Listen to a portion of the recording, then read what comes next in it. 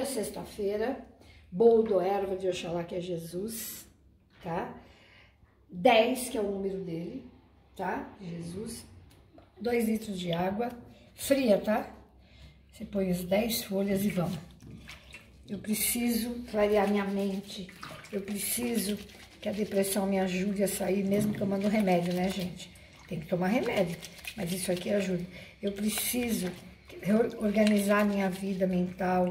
Eu preciso não ter medo. Eu preciso parar de pensar em coisa ruim. E eu sei que esse banho de boldo vai me ajudar nisso. E vai macerando e vai pedindo, né? Você pode fazer para o filho, para todo mundo. Para cada pessoa são 10 folhas. Aí você macera, macera, macera, macera. Vai coar. Você vai pegar isso aqui e vai jogar na natureza. Né? Joga no jardim. É, isso aqui vai continuar vivendo. Aí você pega, que a terra vai sugar isso aqui e fazer nutrientes. Você pega essa água verdinha, inclusive na cabeça. Faz esse banho na cabeça. É um dia para fazer, sexta-feira. Agora tem um... Dorme com ele? Não precisa? Pode dormir. Tem, pode, inclusive.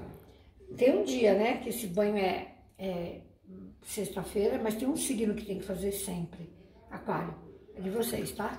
De vocês e nós, que é o melhor banho que eu conheço. Beijo.